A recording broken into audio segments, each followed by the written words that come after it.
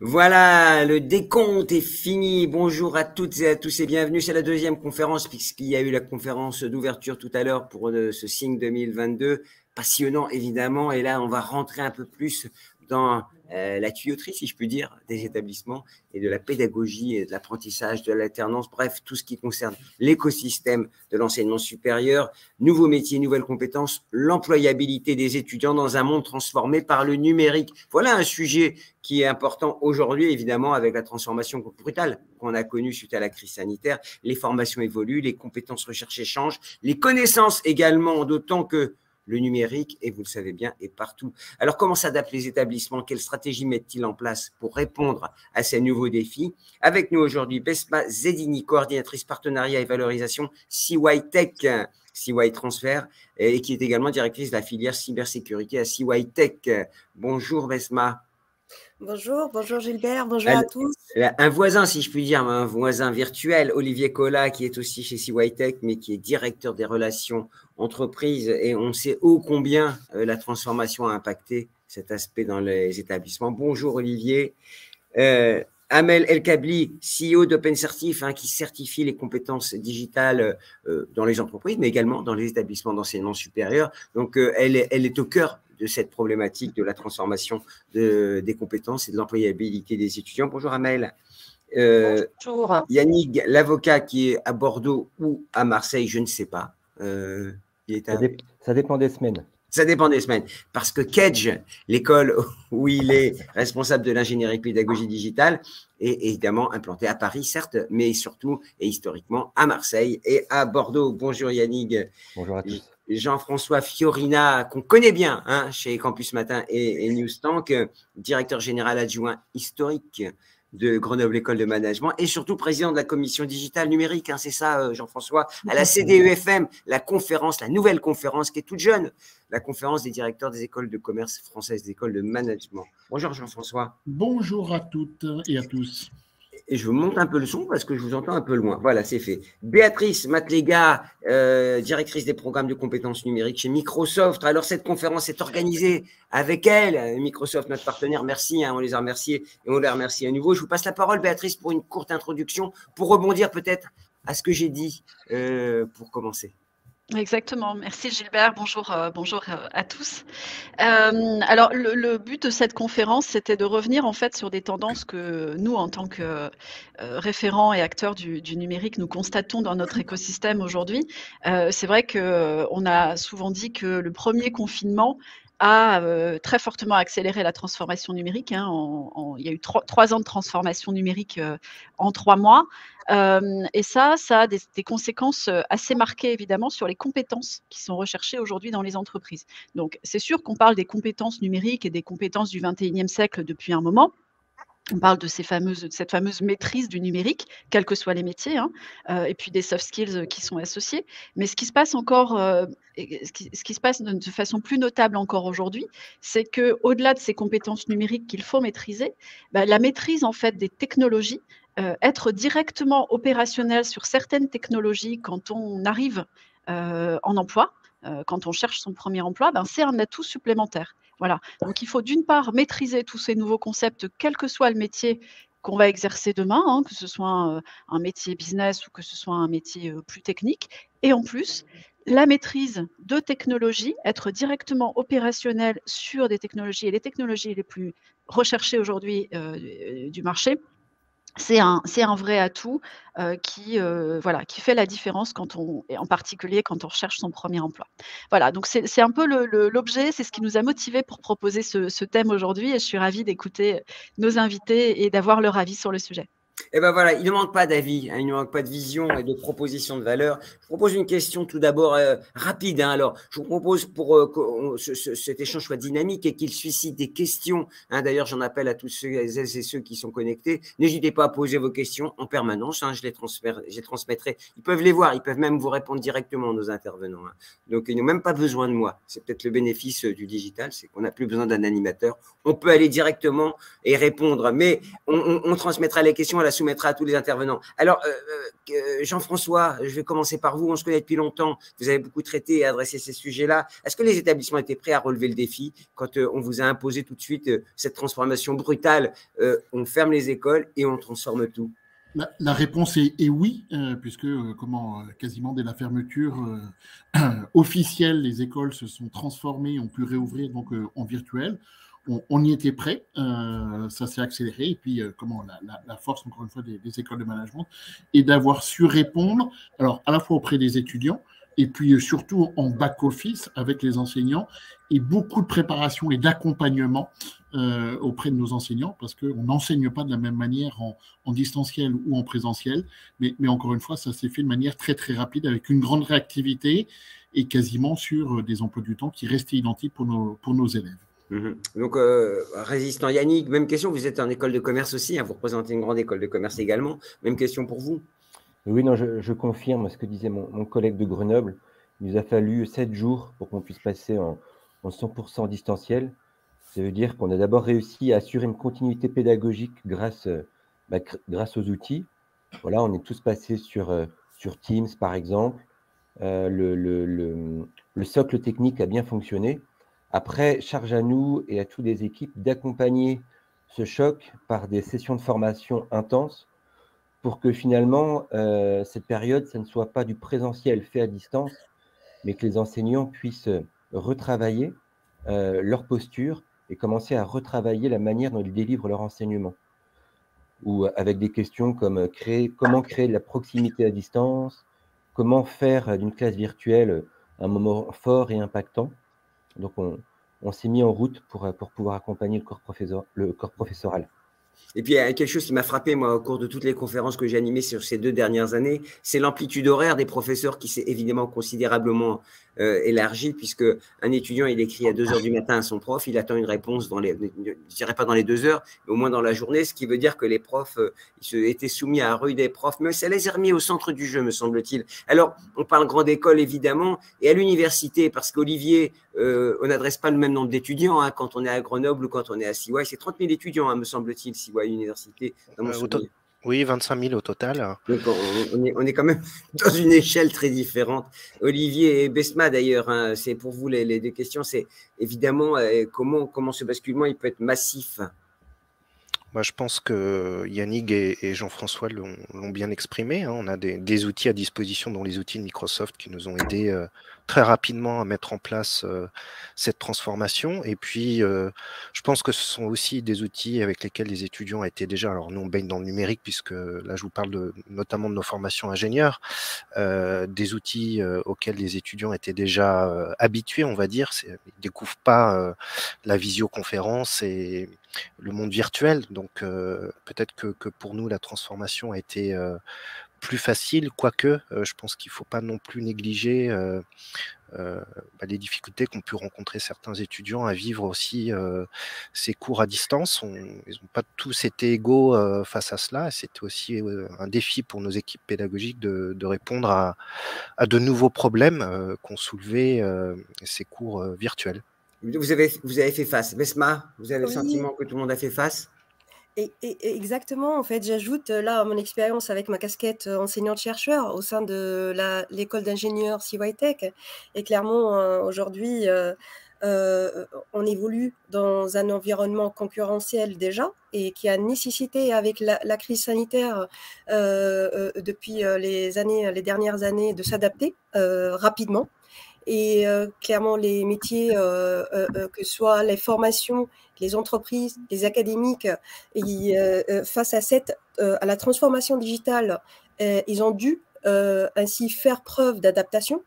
Et donc la transformation numérique est devenue l'un des enjeux majeurs de cette adaptation. Et clairement, je confirme justement ce qu'ont dit mes collègues, on a dû rapidement réagir. Et, et, et je pense que Aujourd'hui. Et, vous travaillez plus alors, ce que je disais, euh, l'amplitude horaire, elle s'est élargie pour vous aussi? Oui, oui. Euh, oui, oui, mais euh, on, s'est adapté. et, clairement, c'est une bonne expérience de, montrer que l'agilité, la réactivité, c'est, elle était là en fait. Mhm. Euh, Amel, alors vous, euh, c'est intéressant parce que vous êtes dedans et dehors en même temps, si je puis dire. Vous êtes dedans parce que c'est de la formation, c'est de la valorisation de compétences, mais vous êtes dehors puisque vous certifiez pour le compte d'eux, hein, pour les écoles, pour les universités. Quel est votre regard euh, sur cette basculement qu'on a connu? Alors déjà, donc effectivement, donc nous, on est commercialisateur des grands éditeurs, donc Microsoft, de certification.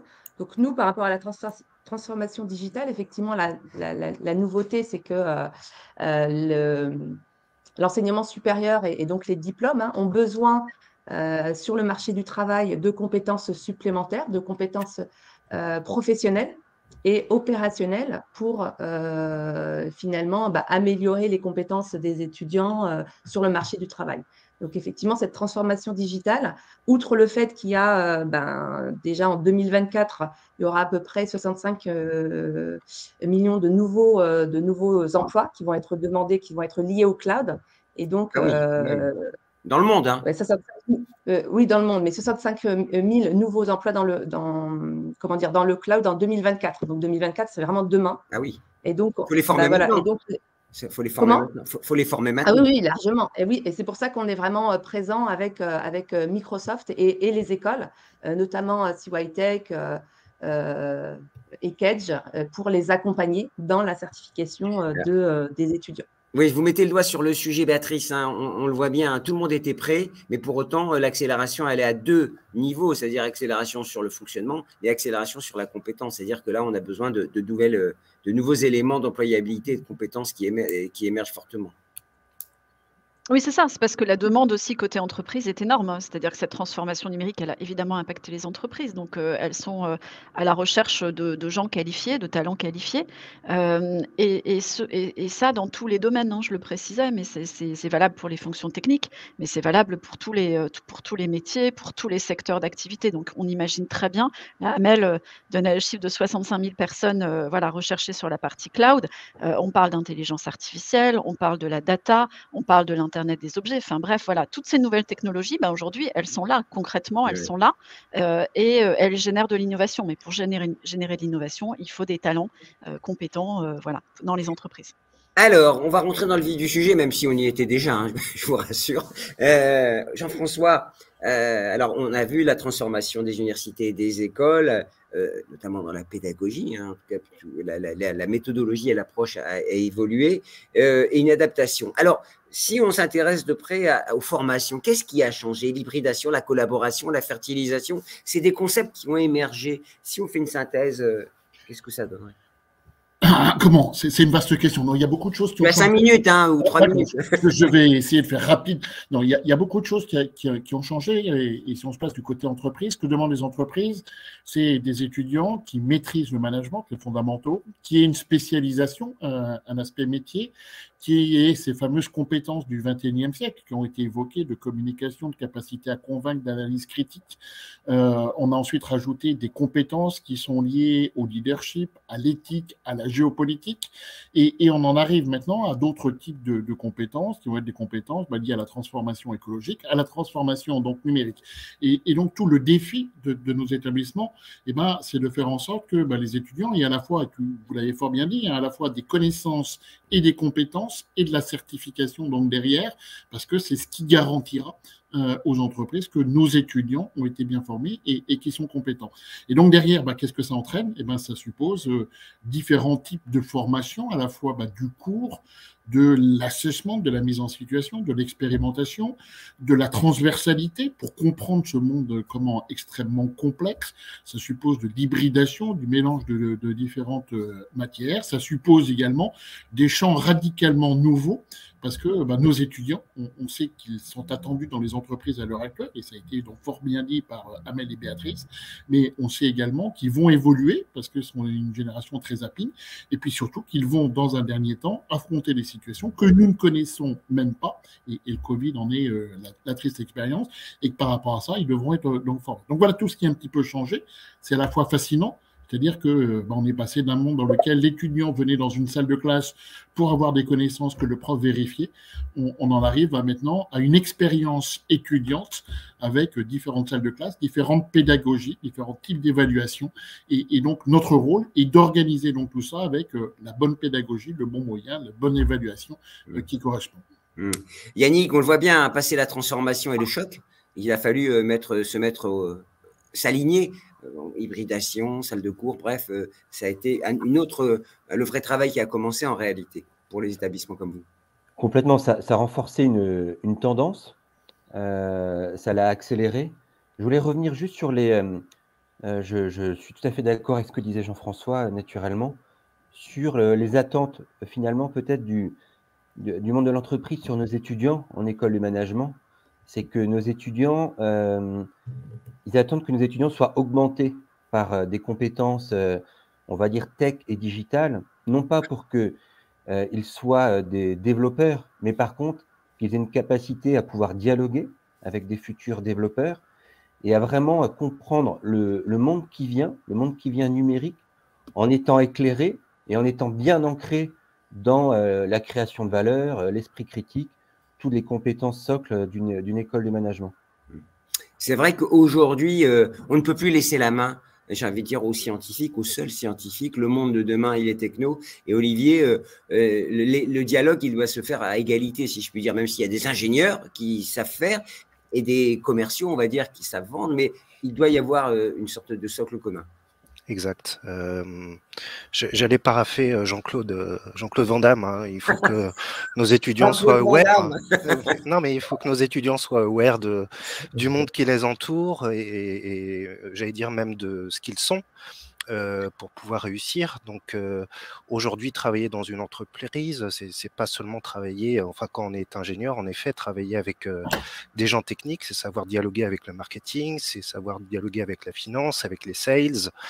Donc c'est nous notre notre notre enjeu, c'est vraiment de leur faire prendre conscience du monde qui les entoure, j'allais dire presque des mondes qui les entourent et, et le numérique, en effet, on est une grosse partie de par nos formations mais on s'attache aussi à, j'allais dire, à les faire se connaître et, c'est ce qui nous importe peut-être le mmh. plus aujourd'hui.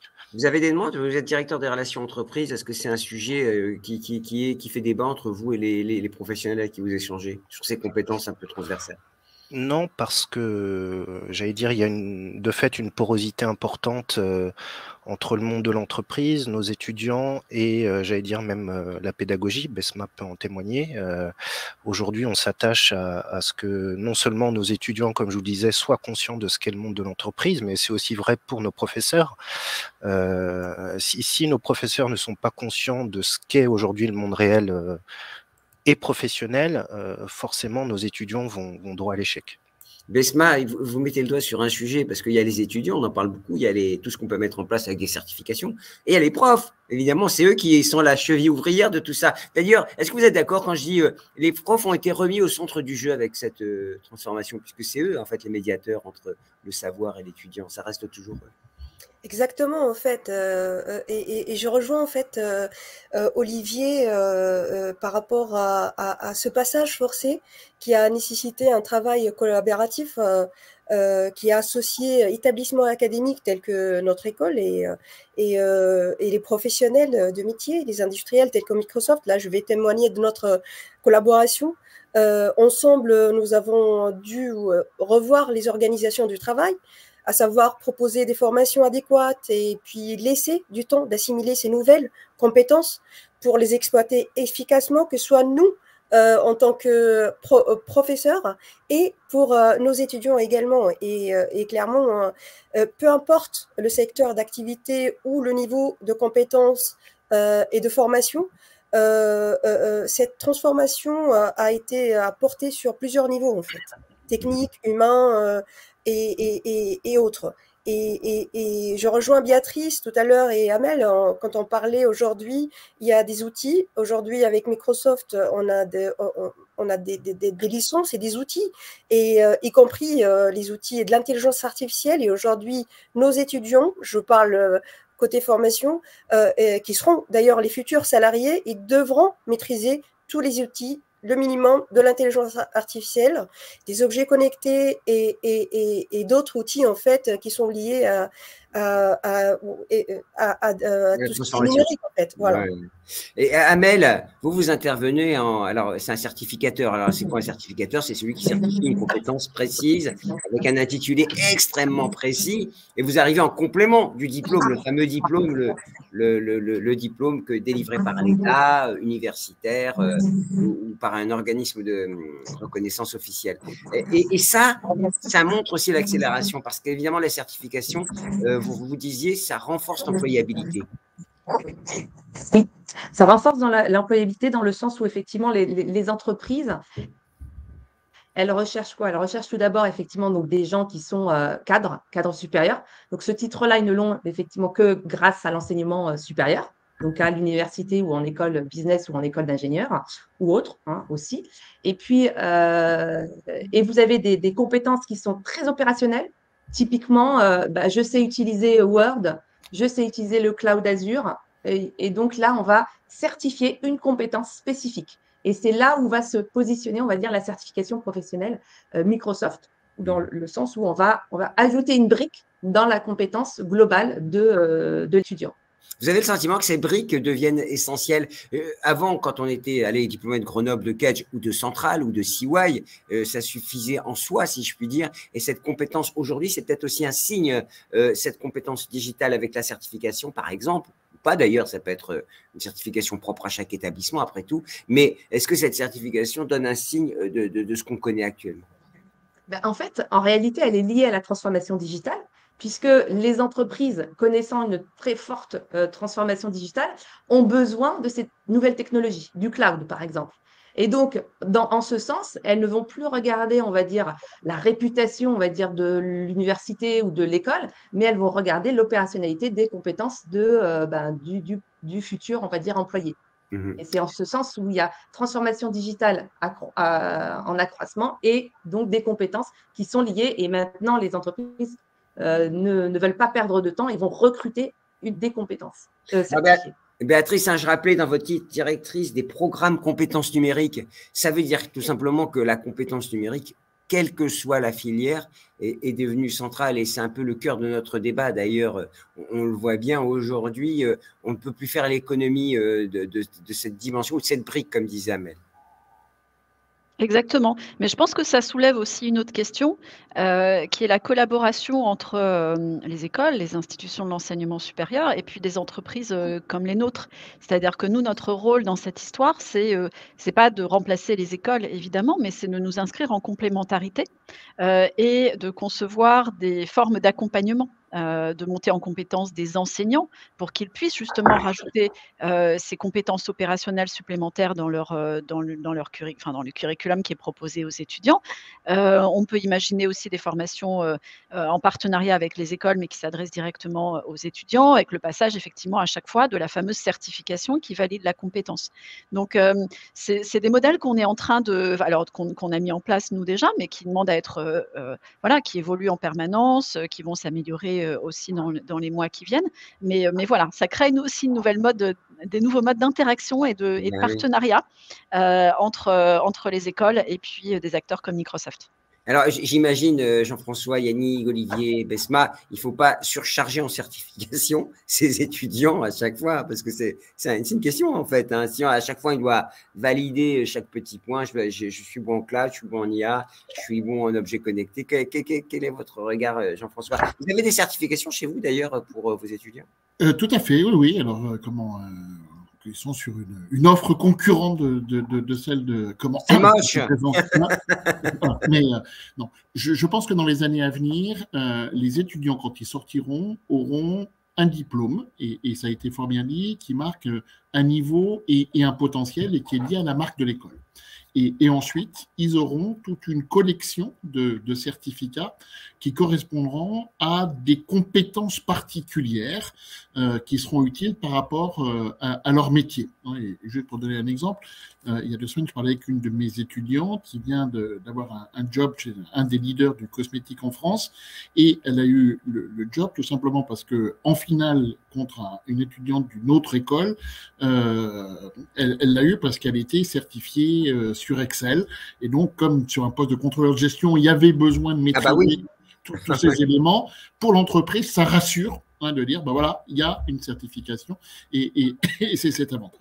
Et, donc, bah pour nous, quel est le challenge? Il va être d'avoir des collaborations avec des éditeurs, avec des certificateurs pour avoir des bibliothèques de certification et, dans lequel, et eh ben, en fonction de, du parcours de l'étudiant, du type de métier vers lequel il se destine, il puisse avoir donc ces certifications. Et donc à la fin, il y aura bien le diplôme, j'ai mon niveau de, de, de, mon niveau et mon potentiel, et puis des certificats qui sont à côté en laissant, et, là également ça a été fort bien dit euh, par Béatrice, euh, peut-être également la voie à des créations de certificats euh, de, spécifiques par rapport à une école, par rapport à, des métiers. Donc voilà, donc on va être dans une relation qui est une relation très coopérative, hein, où on sera à la fois concurrent dans certains domaines, mais sur de la collaboration dans d'autres éléments euh, parce que euh, c'est ce qui fera la différence. Vous pouvez être en désaccord un peu, hein. tout le monde dit je suis parfaitement d'accord avec mon voisin, euh, donc vous pouvez aussi dire Yannick par exemple.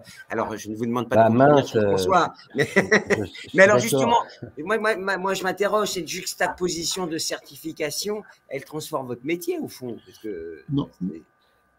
Alors, nous, la certification, en fait, il y a plusieurs manières de, de, de l'intégrer dans un plan de formation.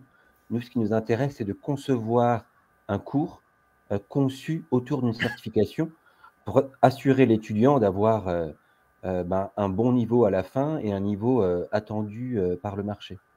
Aujourd'hui, on ne prend aucune certification et programme d'accompagnement brut. On va toujours l'augmenter, nous, d'une surcouche d'ingénierie pédagogique Kedge pour que ça soit un produit de formation qui soit unique, mais qui capitalise évidemment sur euh, euh, la qualité de, l'éditeur ou, euh, ou, du partenaire. Alors sur Excel, hein, j'attends de voir, parce que quand même, il faut avoir le spécialiste d'Excel à l'école. Hein.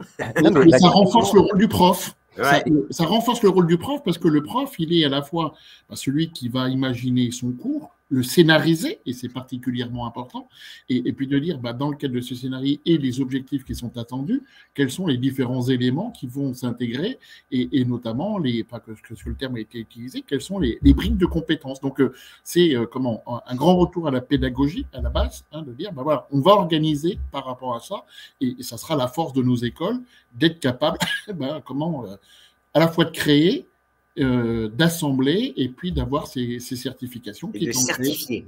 Et de certifier. Besma Olivier, pareil pour vous alors euh, Évidemment, alors dans la cybersécurité, j'imagine que vous euh, vous certifiez à tour de bras, parce que dans la bah, filière. Oui, oui. Et puis, moi, je, reviens juste sur un point. Euh, on, parle beaucoup des étudiants. N'oublions pas les professeurs. Hein. Il faut que nos professeurs soient au niveau aussi. Euh, on n'ose pas le dire, hein, parce que. Euh, j'allais le dire.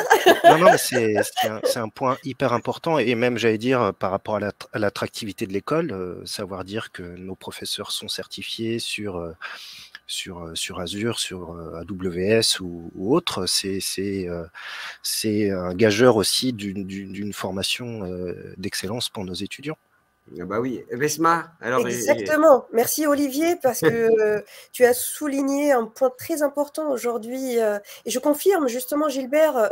Aujourd'hui, je parle par exemple, prenons l'exemple de la cybersécurité. Aujourd'hui, je gère la filière cybersécurité et clairement, et malheureusement, je suis d'accord avec mes collègues, la certification, euh, les licences, la certification, pardon, euh, euh, ça ne peut être que enrichissant. Aujourd'hui, en cybersécurité, nous, en tant que cadre pédagogique, professeur, on donne ce qui est nécessaire, mais après, euh, tout ce qui est licence et puis euh, même les, formations en ligne, euh, dans le cadre vraiment, c'est-à-dire de, partenariat. Par exemple, je prends toujours le témoignage avec Microsoft, hein, avec Béatrice et Amel. Clairement, ça ne peut être que complémentaire et enrichissant pour nos élèves. Moi-même, je vais passer en tant que prof et justement, cette certification, j'espère réussir l'examen. Mais clairement, je suis d'accord avec mes collègues. Aujourd'hui, on, travaille, on s'engage dans une démarche de travail collaboratif, académique et euh, euh, euh, de métier pour vraiment aboutir à un objectif en commun qui est la transformation numérique et puis et rapide surtout, hein, qui s'accélère. Bon, il y a des questions qui arrivent, hein, je les poserai tout à l'heure. Amel, c'est votre fête, hein, si je puis dire, parce que tout le monde confirme. Mais ça veut dire quoi? Ça veut dire que c'est un marché fort, émergent cette... Alors, ça existait déjà, évidemment, mais euh, c'est quoi comme signal? Ben là, c'est vraiment un signal. Ben, en fait, c'est les chiffres en fait qui, qui, qui font, euh, qui, qui alertent aussi euh, le, tout le monde. Au final, quand vous savez que euh, une étude de Deloitte et Manufacturing Institute qui, qui, montre que 2,4 millions d'emplois ne seront pas pourvus au cours de la prochaine décennie, et eh ben là, c'est vraiment une grosse alerte pour euh, pour tout le monde, et pour l'enseignement euh, supérieur, et pour les entreprises aussi. Parce que euh, d'un côté, les entreprises vont aller sur le marché du travail, elles ne vont pas trouver les compétences, et de l'autre côté, ben, voilà, il y a aussi cette montée en compétences, parce qu'en fait, elle est, elle est finalement parallèle. Il faut à la fois monter en compétences les professeurs, euh, bien sûr, il faut les, certifier, enfin pas nécessairement certifier, mais en tout cas, il faut leur donner euh, cette base de compétences pour qu'ils soient aussi euh, alertes par rapport aux, nouvelles, nouvelles compétences du marché, telles que le cloud, l'IA, la cybersécurité. Alors, je parle de ces trois particulièrement parce que ce sont ces métiers, on va dire, globalement, qui sont en tension. Mais euh, le marché demande aussi, hein, comme souligné tout à l'heure euh, Jean-François, des compétences soft skills euh, managériales qui finalement, on, va, on va vers vraiment des compétences hyper transverses qui vont être bah, très bien aussi pour les, pour les jeunes finalement de maintenant, hein, sachant que actuellement on a des, les jeunes, en tout cas sur le marché du travail, ils vont basculer sur 12 emplois différents et donc, ils ont une autre mentalité, une autre façon de voir aussi euh, l'emploi. Et donc, ils vont plutôt vers euh, des, des, diplômes, alors des diplômes, des certifications ou des diplômes hein, très courts, parce qu'ils veulent avoir, acquérir, on va dire, cette, cette, compétence. Et donc là, on est effectivement en tant que certificateur là pour accompagner euh, mmh. bah, ces écoles euh, et ces entreprises aussi euh, pour améliorer ces compétences. Ah, ben, je ne vous pas la parole dans une seconde. Amel, ça veut dire aussi que quand on parlait de formation tout au long de la vie, c'était un concept hein, qu'on élaborait depuis toujours. Hein, mais en fait, non, on se certifie toute la vie, en fait, c'est ce que vous dites. On se certifie toute la vie, mais ça fait partie de la formation, en fait. Oui, hein. bien sûr. C'est de la formation, bien, sûr. Mais effectivement, on se certifie toute la vie. Mmh. Oui, en fait, Merci beaucoup Gilbert. Juste rapidement, hein, je, complète euh, clairement euh, avec, euh, en plus des certifications aujourd'hui avec nos partenaires industriels, on a aussi des interventions d'experts de nos partenaires entreprises qui interviennent en face, en présentiel, avec nos élèves pour vraiment la transmission et puis le transfert technologique et puis le transfert et surtout dans le cadre pédagogique. Je cite, euh, je ne sais pas si j'ai le droit de citer des partenaires euh, aujourd'hui, mais euh, clairement. Oui, mais de toute façon, Béatrice ne nous grondera pas. Elle, elle, on fait cette conférence pour échanger des bonnes pratiques. non, mais je cite, je, non, mais je cite, ils sont plusieurs, mais je cite IBM, je cite Microsoft, je cite, on est en pleine dynamique de partenariat, de collaboration et qui sont qui sont, euh, c'est-à-dire riches, fructueuses, et qui ne peut être que bénéfique pour nos élèves et même nous, professeurs. Et bah clairement, on est très contents. bah, si vous êtes heureuse, moi je suis heureux. Béatrice, on voit bien, on voit bien euh, le rôle d'un opérateur comme Microsoft ou comme les autres hein, d'ailleurs, c'est que c'est pas simplement vendre une solution, c'est vendre euh, l'accompagnement et l'accompagnement il passe par la formation. On parlait de certification, on parlait de, de, suivi, d'accompagnement. Oui, c'est ça. C'est un cercle, un cercle vertueux, on peut appeler ça comme ça. Alors, d'un côté, il y a les technologies, hein, évidemment, donc ça, c'est voilà, ça c'est un peu euh, historique. Mais à côté de ça, il y a tout cet accompagnement dans, dans le développement de ces nouvelles compétences auprès des étudiants auprès des enseignants, parce que les, enseignants euh, voilà, sont, totalement partie prenante, euh, en tout cas nous, dans notre, dans notre manière de, concevoir la chose. Et puis après, bah, ça peut aller aussi, euh, bah, on parlait de, ces fameux talks un peu inspirants pour les étudiants. Ben ça, évidemment, on est hyper fan, nous, de partager à travers des interventions de nos experts métiers, de, partager tout leur, tout leur savoir-faire, leur culture. Et puis, ça va jusqu'au job dating, c'est-à-dire qu'après, la boucle, l'élément final, en fait, dans ce cercle vertueux, c'est vraiment euh, euh, connecter finalement les étudiants avec les emplois disponibles sur le marché. Et donc, euh, je le disais tout au début, nous, on est au cœur d'un écosystème de plus de 10 000 entreprises en France. bah ça, ça représente un potentiel d'emploi de, à pourvoir, de jobs disponibles qui est, énorme. Donc voilà, ça se concrétise aussi par des job dating qui sont organisés avec nos partenaires voilà, et qui s'adressent très précisément aux étudiants dans une recherche d'apprentissage ou de premier emploi. Alors, un point que j'aimerais approfondir avec vous avant de passer à quelques questions. Amel, on vous demande hein, les, références de l'étude. Vous pouvez répondre, hein, puisque je ne connais pas l'étude dont il s'agit. Donc, c'est vous qui répondrez euh, par le chat, euh, si vous êtes d'accord. Euh, c'est le basculement générationnel, parce qu'on parlait de compétences. Là, c'est très tangible, savoir maîtriser telle ou telle solution, savoir maîtriser telle ou telle technologie, nouveau métier. Mais il y a aussi, selon moi, et vous allez me dire ce que vous en pensez, euh, une génération qui attend autre chose. Et là aussi, il y a eu une accélération. Jean-François, est-ce que vous avez ce sentiment ou finalement vous retrouvez les mêmes jeunes en mois de septembre qui rentrent et qui franchissent le pas de l'école? Non, il y, a, un changement générationnel important euh, avec, comment pour, les étudiants, la, notion de sens qui est important. Hein, de dire, je, m'engage dans une entreprise qui est porteur de sens, de valeur, qui le montre tous les jours, c'est-à-dire en, d'autres termes, qui ne fait pas du, greenwashing en, permanence. Euh, des étudiants également qui sont euh, comment très attentifs à tout ce qui est transition écologique et, qui, pour cela, vont peut-être pas aller travailler dans certaines entreprises qui embauchent peut-être beaucoup, qui proposent de bons salaires, mais euh, ils, ne souhaitent pas donc euh, y aller. Donc il y a, vraiment ce, comment, euh, ce, changement. ensuite, il y a un autre changement qui est une plus, grande hétérogénéité des, étudiants. Hein, comment, avec la, grande diversité des formations que nous avons, à l'heure actuelle. Nous avons donc des étudiants qui arrivent avec des niveaux, des cultures différentes, et, donc on a une comment une mise à niveau ou une harmonisation et une cohérence à faire au départ qui est particulièrement importante. Et j'allais dire dernière transformation que nous anticipons, que nous avons vue cette année. Euh, et on va voir si ça se confirme dans les années à venir. c'est celle qui est liée à la réforme du bac, avec des étudiants euh, pour, pour, nos programmes donc post-bac, qui sont des étudiants qui sont euh, meilleurs dans des domaines de spécialisation, mais peut-être avec un niveau moyen un, peu plus faible. Voilà, donc il y a, il y a absolument toutes ces transformations qui, qui sont importantes et, et, des étudiants qui euh, ils sont avides de compétences. cette notion de compétence, elle est essentielle maintenant. Alors, on a vu les compétences numériques, mais également toutes nos agences d'accréditation travaillent autour de la compétence. Et, et donc, bah, derrière, euh, il, faut faire attention aussi dans l'organisation du cursus, à qu'il n'y ait pas plein de certificats dans tous les sens et, ah des étudiants qui, à la fin, finalement, seraient inemployables. Euh, Yannick, moi, la question aussi que j'aimerais approfondir avec vous, c'est euh, les étudiants de cette nouvelle génération, elle attend des usages qui sont cohérents par rapport, euh, qui font le lien, euh, totalement digitaux et qui font le lien avec la compétence. Est-ce que ça aussi, vous l'avez senti, puisque c'est une nouvelle génération euh, digitale native, comme on dit, qui attend autre chose de la part des universités et des grandes écoles? Tout à fait. Pour répondre à votre propos et, et compléter le, ce que disait Jean-François, je pense que les étudiants, ils attendent aussi des nouveaux formats d'apprentissage de notre part ils veulent que le retour sur site et sur campus ait du sens et, un impact positif sur euh, leur dynamique d'apprentissage au-delà de la vie de campus et de la, vie sociale.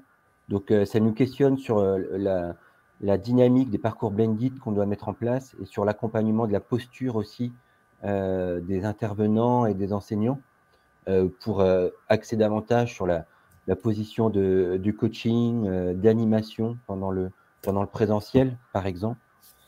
Il demande aussi, en termes de, euh, de format, de, euh, beaucoup de formats qui permettent euh, d'ouvrir des moments d'échange avec des entreprises et d'autres écoles, comme des écoles d'ingénieurs. Nous, les challenges Open Innovation marchent très très bien. on a des centaines d'étudiants impliqués qui travaillent sur des problématiques d'entreprise avec des étudiants ingénieurs. Et ça, ils attendent de nous une ouverture mhm. Euh, vers, euh, vers l'entreprise et vers les autres concrètement sur le campus pour, créer, pour travailler sur des vrais projets et pas des cas fictifs et de voir ensuite l'impact de leurs réflexions. Mhm. C'est vrai qu'ils sont très en attente ils vous challenge d'ailleurs. Bien sûr, complètement. Parce que eux-mêmes, dans leur vie quotidienne, ils sont déjà passés à autre chose. Ils ont, ils ont maîtrisé parfaitement les outils. Alors, certes, pour savoir comment ils se retrouvent le soir après une partie, mais cette euh, mentalité, elle impacte nécessairement euh, les cours, euh, l'organisation. Alors, je voudrais rebondir sur la maîtrise des outils. nous, on fait très attention aux déclaratifs, c'est-à-dire on, on peut avoir un problème de surévaluation de compétences. Euh, et c'est pour ça que la certification, les tests de positionnement sont d'ailleurs intéressants, parce que là, c'est le juge de paix. Et là, on, là, on met les, les compteurs à zéro. Euh, on, met en place après des parcours leur permettant euh, d'atteindre un niveau minimal qui permet après d'avoir une aisance dans le reste de, la, de la, scolarité. Mmh. Donc on fait, on fait très attention à ça. Alors, euh, CY, alors j'en ai pas parlé, mais c'est une université exceptionnel, hein, présidé euh, par un président exceptionnel. mais non, mais surtout, c'est une, université qui, qui a développé une agilité avec des alliances. Hein. Elle a le système universitaire, j'allais dire classique, mais également des écoles d'ingénieurs qui ont rejoint, une école de design, bref, un gros, euh, focus sur l'alternance et l'apprentissage, ce qui en fait une université, euh, je dirais presque expérimentale dans le monde des universités, mais en tout cas qui, innove pas mal. Alors là aussi, vos étudiants, est-ce qu'ils sont exigeants? Est-ce qu'ils attendent un niveau expérientiel autre chose, Olivier euh, Oui, oui. Bah, ils attendent qu'on sache, euh, ou en tout cas qu'on les accompagne, je rejoins, je rejoins Jean-François, qu'on les accompagne dans les réponses aux enjeux de demain qu'il soit euh, euh, climatique, qu'il soit lié à la diversité, l'inclusion, l'accessibilité, euh, les objectifs de développement durable. Alors d'autant plus dans, le numérique, j'allais dire, qui est, un, sujet sensible.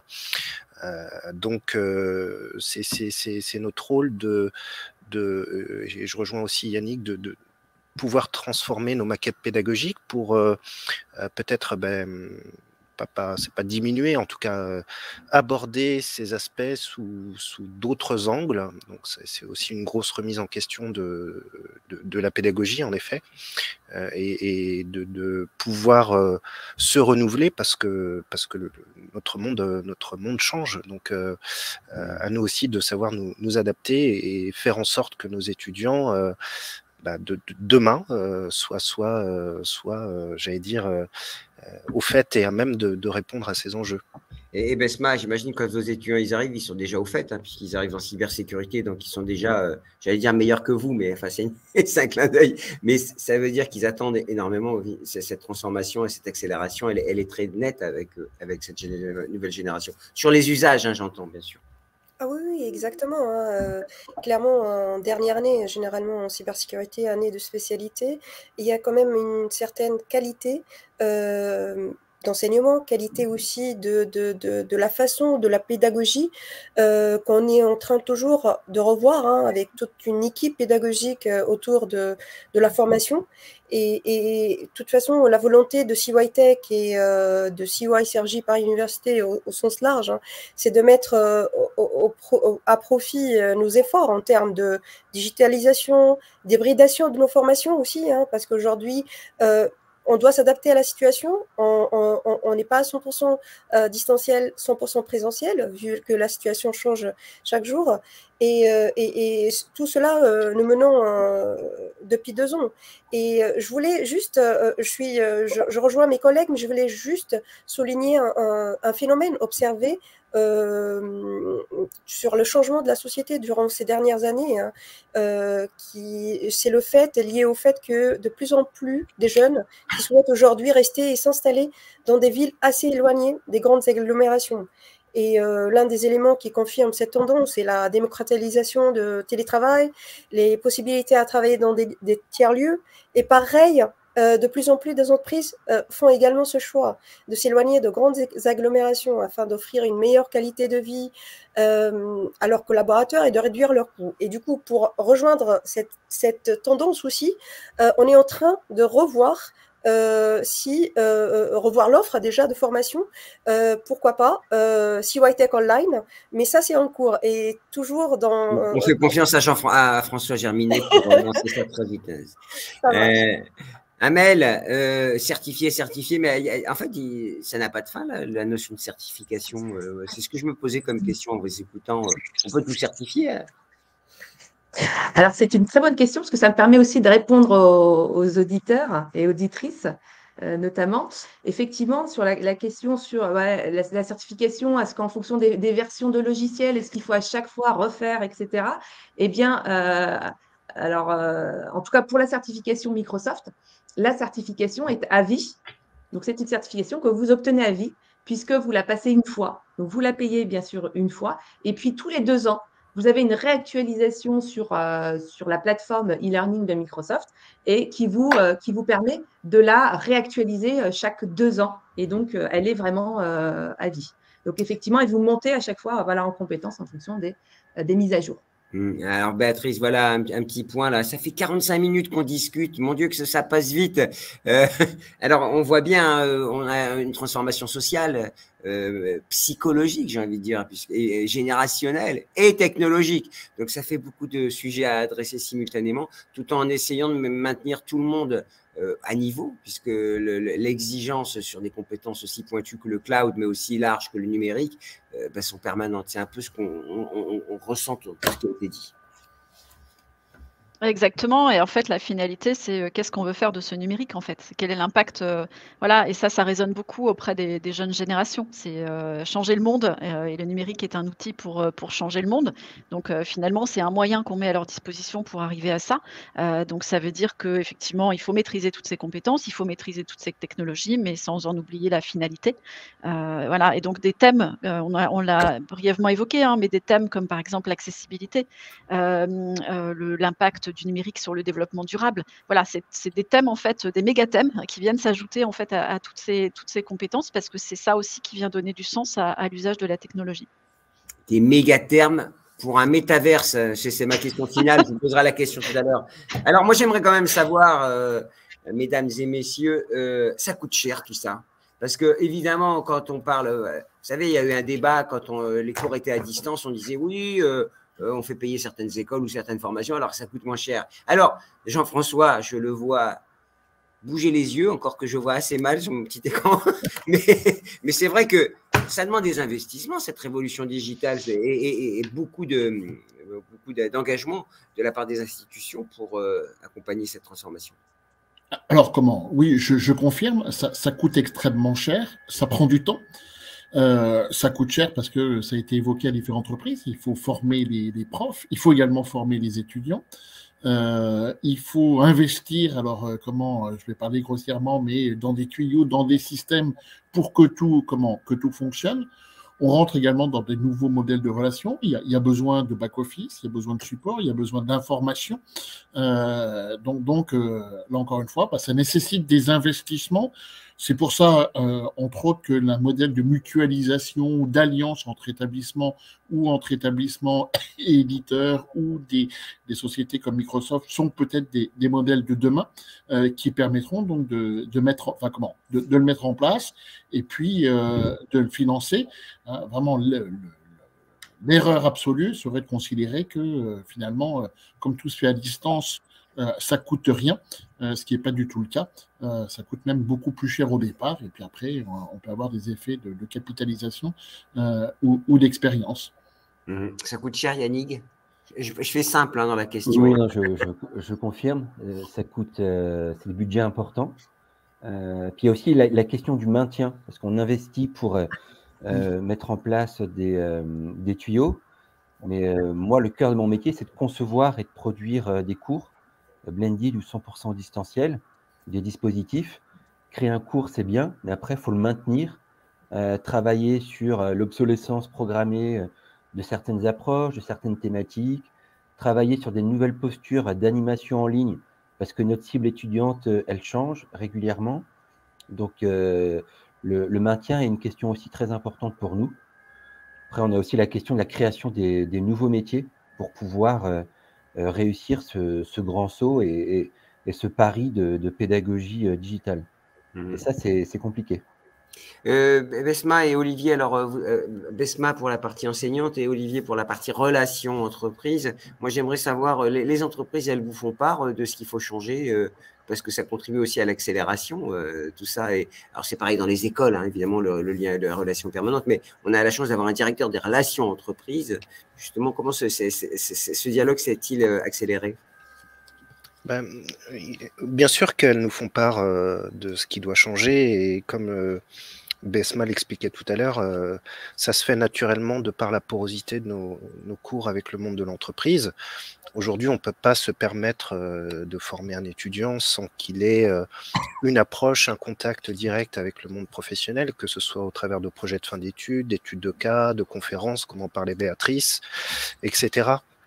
Euh, après, sur le coût, le plus important pour nous, c'est en effet de notre capacité à absorber ces coûts sans impact pour l'étudiant. C'est primordial. C'est la question essentielle.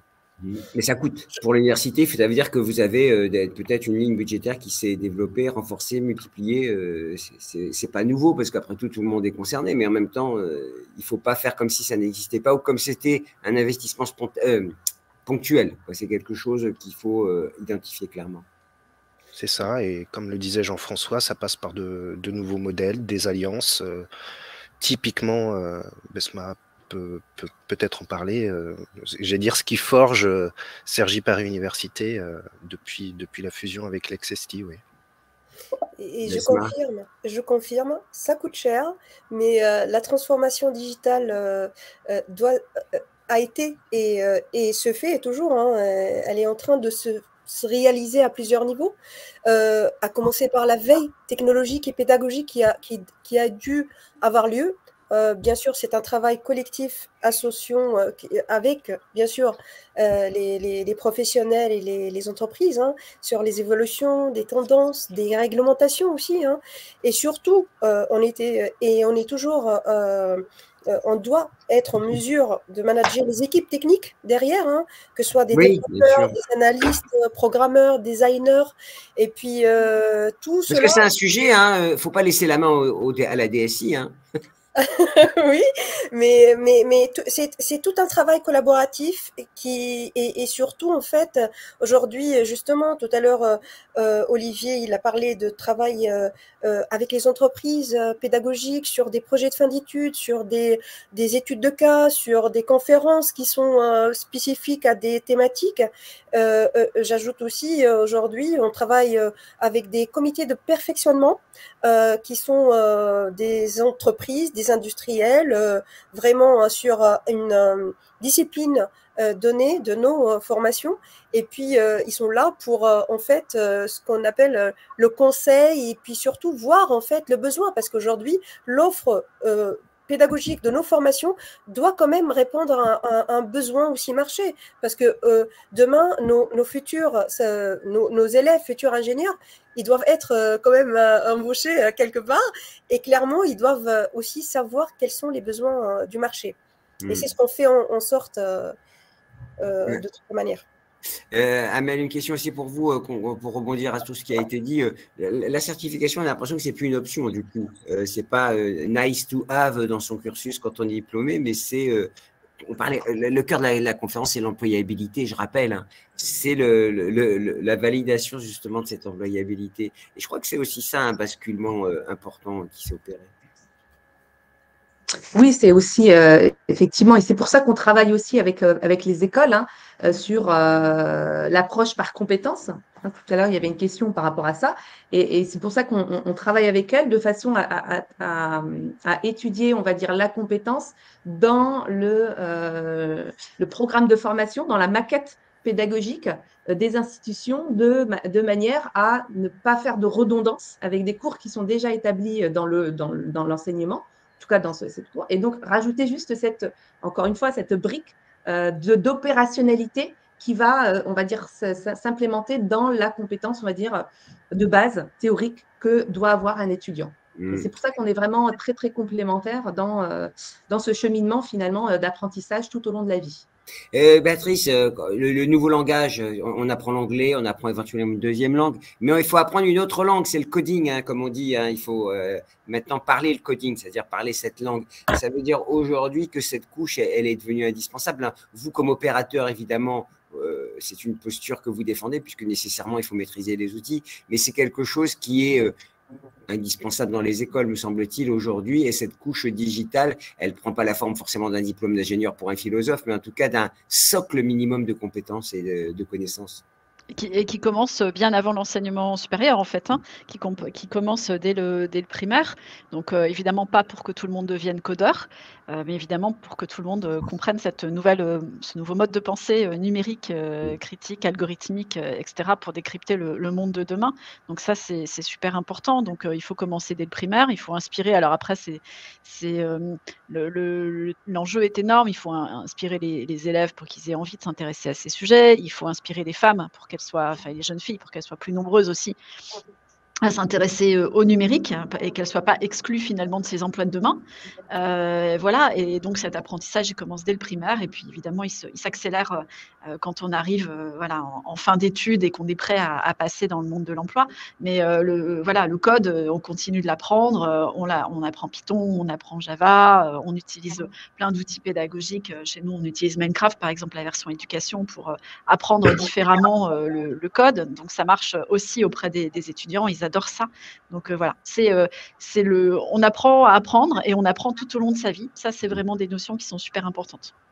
Euh, vous voyez les choses comment? Alors, je disais tout à l'heure en forme de boutade, demain, métaverse, est-ce que ça veut dire que nos écoles deviendront, alors Facebook l'a annoncé, hein, puisqu'il s'appelle Meta maintenant, mais quelques écoles, et Jean-François, je pense, à, vous connaissez, vous étiez voisin, voisin de cette école dans le 16e arrondissement. L'homme Normandie a parlé de son espace métaverse. Enfin bref, il y a des, une réflexion autour de ça, ça veut dire que demain, euh, tout sera digital ou en partie. Euh, alors, ça l'est déjà, mais jusqu'où, d'après vous Alors, vous, Béatrice, vous avez des gens qui réfléchissent à ce qui va se passer dans 50 ans au moins, j'imagine, ou, ou, même dans 10 ans. Alors, c'est quoi le, nouveau concept d'éducation, selon vous? Alors, je n'avais pas prévu cette question, hein, je vous coince un peu, mais, mais c'est intéressant pour celles et ceux qui nous écoutent. comment le, Ah ben, j'avais posé la question à Béatrice d'abord, ah sur le métaverse.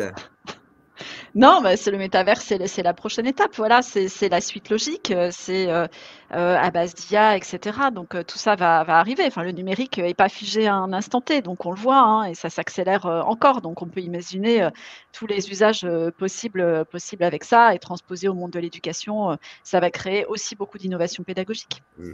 J'ai eu le plaisir d'assister à quelques démonstrations d'outils parfois chez vous. J'avoue qu'on est un peu stupéfait et tout ça arrive. Jean-François, demain métaverse ou pas? Euh, ça veut dire que vos étudiants, ils doivent maîtriser hein, leur avatar, euh, leur, euh, leur programmation éventuelle, leur propre programmation. Pourquoi pas? Je crois que comment une des conclusions hein, de, comment, de, notre discussion aujourd'hui, c'est de montrer en fait qu'il va y avoir différents types de, de modèles d'écoles, d'établissements, de centres de formation, où, chacun va devoir trouver sa valeur ajoutée et son articulation par rapport à des compétences et, des certifications. Et, donc, si on, se, je me polarise sur les, les, écoles de management, nous sommes, nous, des écoles globales, et, donc nous devrons en fait combiner du présentiel et du distanciel, et donc le, le, le métavers sera plutôt des systèmes de campus jumeaux permettant à nos parties prenantes euh, comment anciens, entreprises, partenaires, étudiants à l'étranger et autres, euh, de pouvoir à un moment donné participer aux activités de l'école, de passer du virtuel au présentiel ou, du présentiel au, virtuel. On sera donc comment dans ces modèles et, les étudiants bah, devront être capables de, passer de, l'un à l'autre. Voilà. donc, ce qui va supposer une organisation euh, également différente, pour rebondir sur la question précédente, aussi des investissements donc euh, comment qui vont être conséquents, euh, de nouveaux métiers, mais c'est vrai que ce sont des challenges importants. Et, et si nous, école de, de management française, on souhaite rester dans la course et, et garder notre niveau de performance, eh ben on sera euh, comment obligé ou comment on, on, va devoir aller donc sur sur ces différents systèmes. Euh, encore une fois, je trouve que c'est absolument fascinant parce que ça, ça, remet en place la pédagogie au, au centre pour pouvoir bien scénariser. Et, et, surtout on travaille sur l'expérience étudiante, apprenante, qu'est-ce qu'on doit apprendre, à quel moment et autres, et, avec le, relais sur la formation tout au long de la vie, parce que je crois que c'est là aussi un défi important pour nous. Yannick, même question pour vous, vous en êtes où vous? Vous êtes, chez Ready Player One déjà ou pas? Alors, on est en train de préparer un cours sur Metaverse pour la rentrée. Euh, donc, on, une enseignante-chercheur travaille, euh, travaille dessus et on l'accompagne. Euh, quel est l'impact pour nos écoles? Peut-être que pour certains publics empêchés de venir sur nos campus, je pense aux certains publics étudiants étrangers, avec la fermeture des frontières, sportifs de haut niveau ou autres, ça peut être un, un moyen d'accéder à, un produit pédagogique. pourquoi pas? Je le vois sur un mode d'expérimentation sur quelques populations cibles qui ont des caractéristiques particulières. Mais l'essence même euh, d'une école sera dans le blended avec des moments d'émotion impactants euh, avec un enseignant et, des copains de promo. Quoi. et puis la fête, parce qu'il y a bah, toujours la fête dans les écoles et les universités, Olivier. Et Mbesma, pour vous aussi, euh, cette, évolution comme, on l'imagine euh, à la lueur des films de science-fiction qui ont déjà été faits ou de ce qu'on nous promet. Alors dans le luxe, il y a déjà des boutiques métaverses, hein, déjà euh, chez Hermès, me semble-t-il, chez, chez Vuitton. Donc, Oui, on a déjà des, exemples de, salons virtuels depuis, depuis quelques années. Donc c'est pas, j'allais dire moi le, le métaverse, oui, mais à bon escient, quoi. Donc mais ça veut dire que les étudiants doivent être prêts à ça, parce que c'est un peu ce qu'on nous promet. Enfin... Oui, mais ce qu'on voit aussi euh, avec la crise sanitaire, c'est que nos étudiants demandent du présentiel. Donc, euh, malgré tout, euh, je pense que beaucoup ont été marqués, voire pénalisés par, la crise Covid, malheureusement. Et que aujourd'hui, alors je suis, complètement d'accord avec Yannick sur, certains, étudiants, certains modes, ça, peut être en effet un, outil intéressant, mais encore une fois, pour moi, ça, n'engage que moi à bon escient. Je confirme. Je confirme. Mais tout le monde est d'accord, de toute façon, j'ai compris. Euh, Amel, alors, on, sera tous certifiés bientôt?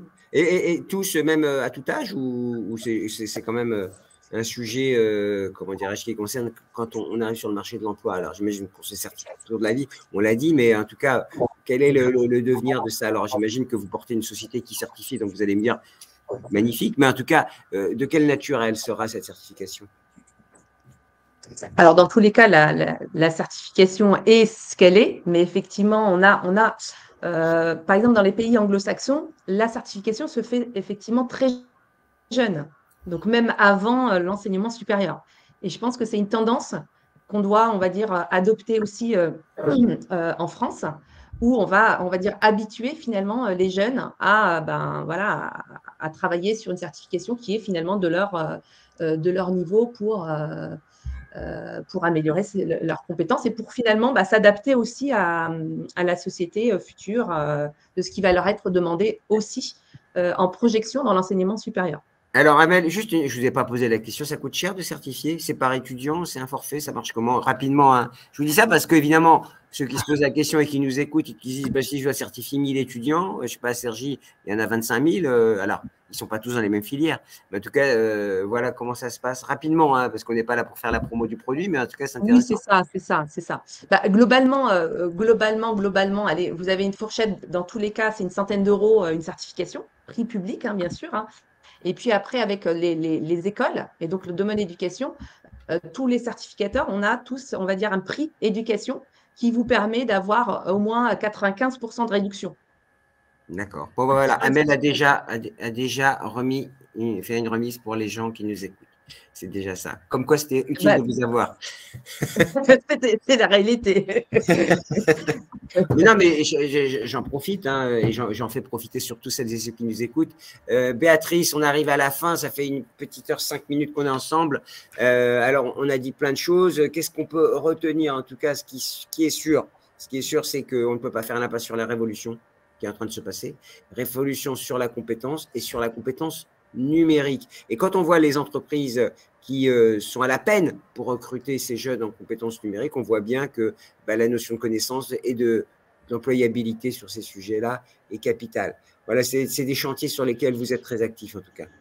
Exactement. Et je pense que j'insiste beaucoup euh, sur la collaboration entre euh, des éditeurs euh, voilà, comme, Microsoft et les écoles. Je pense que c'est une des clés aussi pour, pour, que, pour aider en fait les, étudiants à, accéder à tous ces emplois. Et puis après, il y a un volet qui est aussi de sensibiliser les étudiants sur l'importance de ce qu'attend le monde professionnel. Voilà, c'est aussi important de travailler sur les, sur les deux leviers, leur donner les moyens de se former et puis les sensibiliser aussi aux, compétences qui sont recherchées et attendues quand ils entreront sur le marché de l'emploi. Voilà, on avait une question de lui de Franche-Comté, de Christine Boulou Chiaravelvali. Voilà, les références sur les métiers, euh, pas des secteurs tech, mais les nouveaux métiers. Donc, euh, si vous avez des références, euh, n'hésitez pas à lui transmettre. Je crois que Claire lui a déjà donné une étude, mais c'est important. Ça veut dire qu'on est dans un monde en pleine évolution, en plein changement. Je crois qu'on a dit beaucoup de choses. Hein. On pourrait rester des heures, évidemment. Béatrice, on salue tout le monde. On remercie évidemment tous les participants. Et puis, on, peut vous être là s'il y a des questions, de toute façon. Hein. C'est ça. On reste en contact. Merci, euh, merci à tous. Merci à tous nos intervenants. Merci beaucoup et je vous souhaite une très belle fin de journée. Et puis on continue hein, sur Sync Éducation 2022. Et euh, vendredi, euh, jeudi, ce sera en présentiel. J'en profite pour faire un peu de retard parce qu'il y a plein de, de thématiques. Mais jeudi, ça sera une conférence avec euh, autour des, des, projets, autour de l'enseignement supérieur à la lueur des élections présidentielles. Les représentants des candidats seront présents. Et autant vous dire qu'on va les challenger pour savoir quelle France ils nous préparent pour demain. On l'a déjà évoqué avec vous, mais on ira encore plus loin. Merci beaucoup. Merci, Gilbert. À bientôt.